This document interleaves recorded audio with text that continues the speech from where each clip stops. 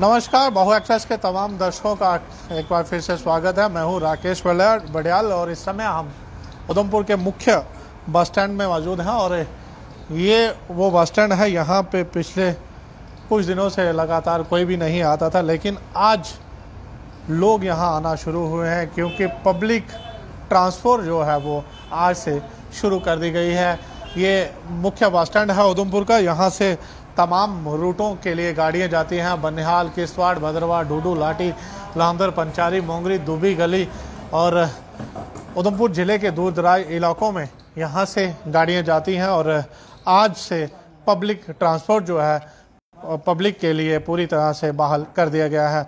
हमारे साथ यहाँ ट्रांसपोर्ट यूनियन के लोग हैं, उनसे भी बात करने की कोशिश करेंगे कि आखिर लगभग दो तीन महीनों के बाद जो है ट्रांसपोर्ट जो है आज शुरू हुआ है और हमारे साथ बात करने के लिए नासिर जी हैं। नासिर जी, सबसे पहले आपका स्वागत है बाहू एक्ट्रेस में और ये बताएँ कि कितना संतुष्ट है?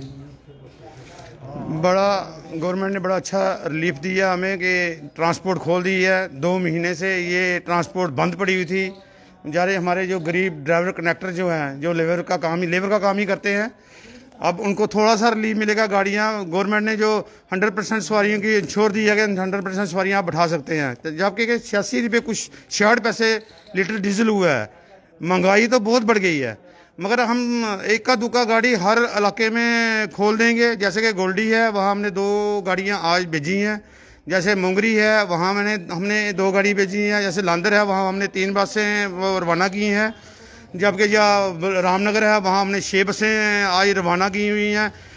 बसंतगढ़ है, वहाँ मैंने, हमने एक गाड़ी जो भेजी है और जैसे लाठी है, लाठी बसंतगढ़, लाठी दूर दराज के इलाके में एक बस को हमने रवानगी की हुई है। अब वो वहाँ से आकर जो गाड़ियाँ यहाँ पहुँचेगी, जब ही पता लगेगा कि गाड़ियों की क्या पोजीशन है, कैसे लोग आना जाने का हर गाड़ी वाले को, हर ड्राइवर को हमने ये बोला हुआ है कि अपने गाड़ियों में जो जो भी सवारी बैठेगी, वो मास्क डाल के बैठेगी और सैनिटाइज़र जो गाड़ी वाले ने ड्राइवर कनेक्टर को हदायत दी हुई है कि सैनिटाइज़र की बोतलें जो हैं, वो लेके रखनी है और लोगों को भी सैनिटाइज़र लगवाना है और ख़ुद भी लगाना है और लॉकडाउन का पूरा पालन किया जाएगा, सख्ती से किया जाएगा। जिस गाड़ी के अंदर सैनिटाइजर और मास्क नहीं लगा होगा, उस गाड़ी को हम, उससे सख्त कार्रवाई करेंगे।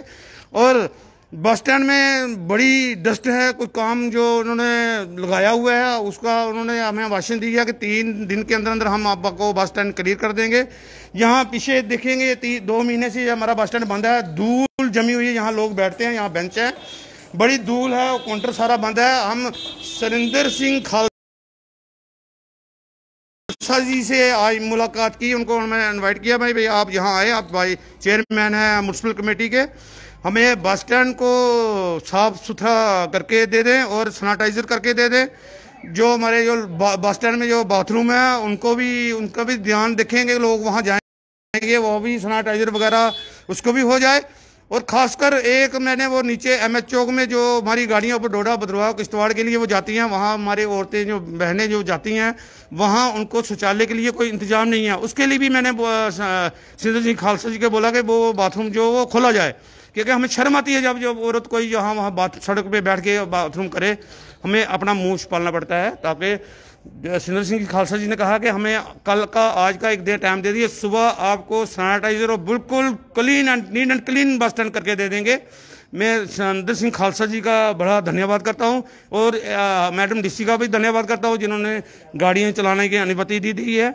और ख़ास कर हमने ड्राइवर कंडक्टर को ये बोला है कि बिल्कुल मास्क के बगैर कोई सवारी गाड़ी में नहीं बैठेगी। और सैनिटाइजर आपके गाड़ी में होना ही चाहिए।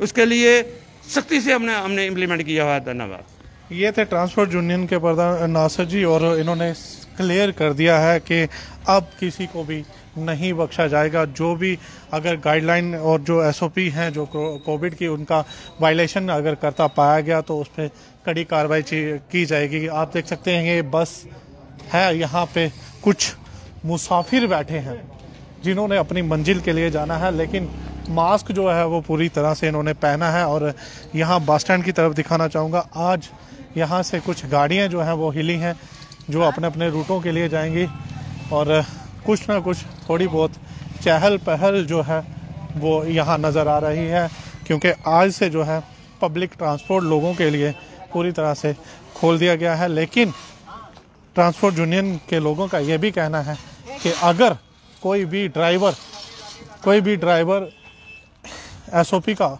वायलेशन करता पाया गया तो उस पर कड़ी से कड़ी कार्रवाई की जाएगी। वहीं दूसरी तरफ़ ले जाना चाहूँगा कि आज से उधमपुर में हलवाइयों की दुकानें भी खोली गई हैं, जो कि पहले उनको एक दो दिन का समय जो है सप्ताह का दिया गया था, लेकिन आज से उनको रेगुलर कर दिया गया है। सोमवार से लेके, सोमवार से लेकर शुक्रवार तक ये हलवाइयों की दुकानें जो हैं वो खुलेंगी और यहाँ आप देख सकते हैं कि हलवाइयों की दुकानें भी आज खोल दी गई हैं, लेकिन बार बार ये भी दुकानदार भी लोगों से ये गुजारिश कर रहे हैं कि मास्क ज़रूर पहन के रखें, सैनिटाइज़र का इस्तेमाल करें और कोविड की जो भी गाइडलाइन है उसको फॉलो करें।